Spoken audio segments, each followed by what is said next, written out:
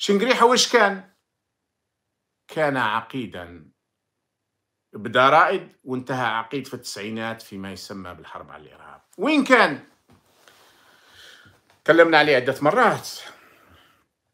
كان فيما يعرف بلا بروميير بيبي آه، الفرقة الأولى.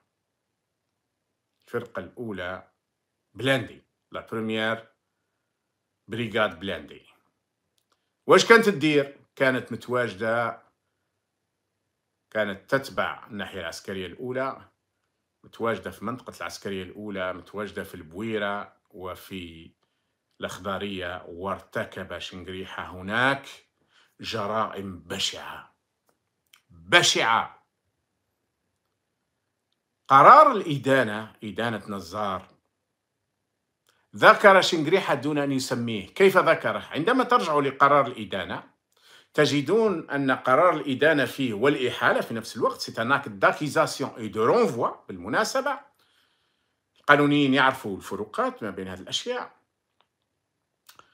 يقول فيه لخالد نزار أنك أحطت نفسك برجال يأتمرون بأوامرك. وعن طريقهم ارتكبت واعطيت اوامر لارتكاب جرائم فظيعة.